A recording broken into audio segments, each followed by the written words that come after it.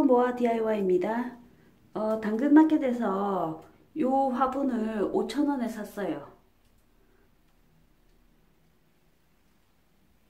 큰 화분이 필요했는데 어, 여기 기둥을 만져보니까 말랑말랑해서 아마 죽은 것 같아요. 이렇게 뚝뚝 잘 부러지네요. 이런 데가 다 썩은 것 같아요. 이렇게 다 뜯겨요. 썩었어요. 어, 여기 기둥도 이렇게 이렇게 썩었는 줄 몰랐어요. 그냥 말라 있다고 생각했거든요. 그래서 어, 몬스테라를 여기 이렇게 흙 파내고 새우 놓고 해서 이렇게 심어서 얘들 타고 올라가게 하려고 했는데 이렇게 만지니까 물컹물컹하고 썩은 느낌이 나서 그리고 여기 보면 이렇게 녹색 곰팡이에요. 어, 그래서 집안에 두기는 좀 그래서 요거를 버려야 될 것 같아요. 이렇게 흔들려요. 뽑아서 버리고 흙에서도 약간의 곰팡이 냄새가 나서 얼른 버려야 될 것 같아요. 어 여기 손 보세요. 이렇게 뭉그러지고 있어요.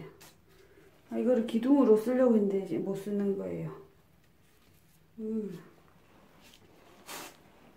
예, 뿌리가 지금 다 썩어가지고 이렇게 기둥만 박혀, 박혀 있네요. 요거 버릴 때, 어, 이렇게. 좀 톱으로 잘라야지 쓰레기 봉투에 넣을 수 있을 것 같아요.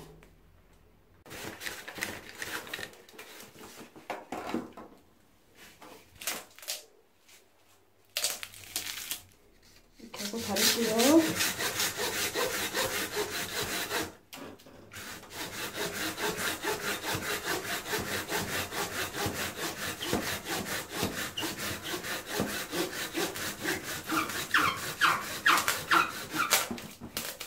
이렇게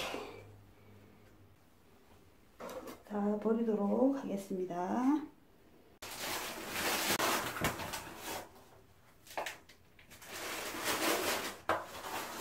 어, 버려야 되는 이불이 있어가지고 이 큰 봉지를 쓰는 김에 아까 그 나무가 덩치가 커서 이렇게 같이 끼워서 버려요. 네, 파다 보니까 이 안쪽에 스티로폼이 나오네요. 어, 이렇게 큰 화분은 스티로폼을 안쪽에 넣거든요. 그래야 무겁지 않고 흙도 많이 안 들어가고 어, 흙이 너무 많이 들어가면 또 식물들 뿌리가 물기 많아서 또 안 좋을 수 있기 때문에 이렇게 합니다. 네 이제 흙을 다 치웠고요. 안에 보시면은 이렇게 테이프 쓰레기도 막 들어있더라고요. 어, 요거는 큰 봉지에 한꺼번에 부어버리고 어, 화분 깨끗이 씻어서 말려서 사용할 거고요. 어, 제가 여기 당근마켓에서 이걸 5천원에 샀는데 식물이랑 흙이 익는 상태로 샀잖아요. 어, 그래서 이렇게 치우는 것도 번거롭고 어, 종량제 봉투도 써야 되고 지금 여기 이불 두 개 버리면서 그 나무 기둥 넣었는데 이걸 전체로 이제 무겁게 한꺼번에 다 넣어버리면은 들 수가 없겠죠. 그러니까 이불같이 가벼운 거 버릴 때 같이 끼워 버리고요. 다른 남은 흙들은 또 다른 쓰레기랑 합해서 버릴 거고요. 어, 이렇게 어, 흙이 없는 상태로 요걸 5천원에 샀다면은 괜찮은데 이렇게 치워야 되니까 어, 앞으로는 이렇게 흙 있는 상태로 안 사는 게 좋을 것 같아요. 그리고 이거 새 걸로 사면은 2만원 정도에 살 수 있는 화분이거든요.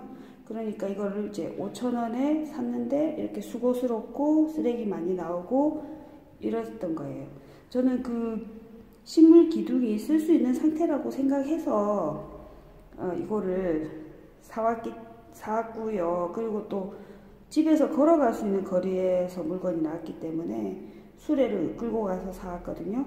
그래서 괜찮았는데 어, 이, 이거를 차에 싣고 오는 것도 되게 번거로웠을 거예요. 그렇게 했었다면. 그러니까 그런 거를 고려해서 구매를 하시는 게, 거래를 하시는 게 좋습니다. 네, 감사합니다.